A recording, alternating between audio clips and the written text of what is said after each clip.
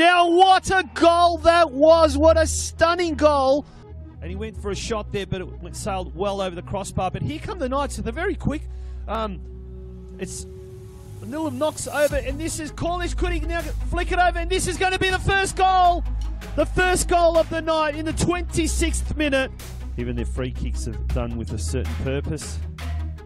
And uh, there's a great little flick on, and that was Phelps, Joshua Phelps. I think Juzel with that beautiful cross in and see the game out. You know, three points is three points at the end of the day.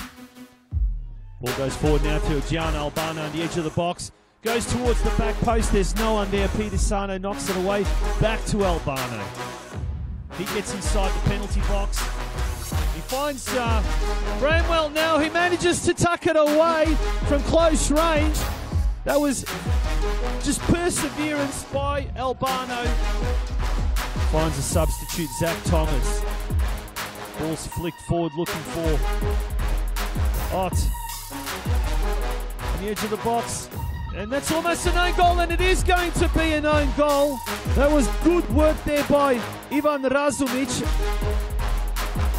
To be a free kick there. The referee allows play on. Hall has the ball there. And a great shot there from, and it's going to be another goal. I think it was uh, Semakula who uh, floated that in. That was a magnificent piece of effort there by Sumayoro. Now Kubalay. Clark is racing on the left-hand side. He's got Decker in the middle. This is Clark for Decker! A textbook goal. They moved the ball from one end to the pitch to the other in no time at all. Minaric.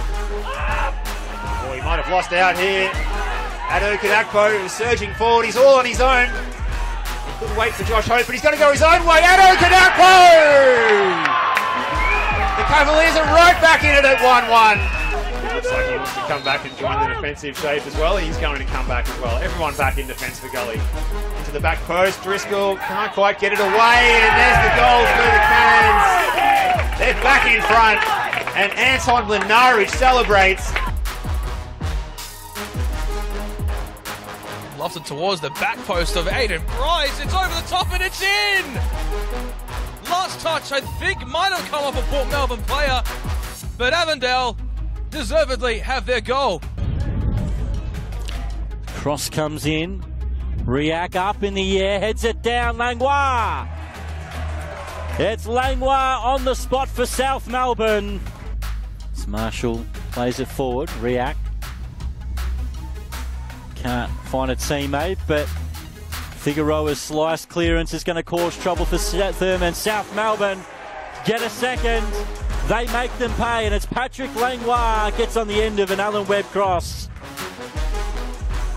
Not too many options there for the Bentleigh Greens number eight. He goes out towards his right. Baker flicks it on, and here's an opportunity. Now, what a goal that was! What a stunning goal! Seemed like the wind took that, and that was Ben Carrigan. Fleming now goes back Browell under pressure. Opperman was off balance there, and here's an opportunity for the Bentleigh Greens and a powerful effort from an acute angle by Manasseh Abandelwa. And when things are going your way, luck is going your way. When they're not, they're not. And that is exactly that situation there. As a magnificent effort, though, just seconds later, from Charlie Fleming with his right boot, curled around Bon Scott, and there is hope for the North Geelong Warriors. Markowski came across. Ball kept in by McGlade. Down the right wing. Popping up everywhere, Dylan McGlade. Trying to get something going here for Hume. Pulls it back. Chance here for Mustafa. Lets it settle. Takes it onto his left and he gets it in! It's the substitute that strikes for Hume! And the backflip in celebration! That's in by Shepherd towards the back post. Punched away by Majak Marwith. And returned back. And in Heidelberg.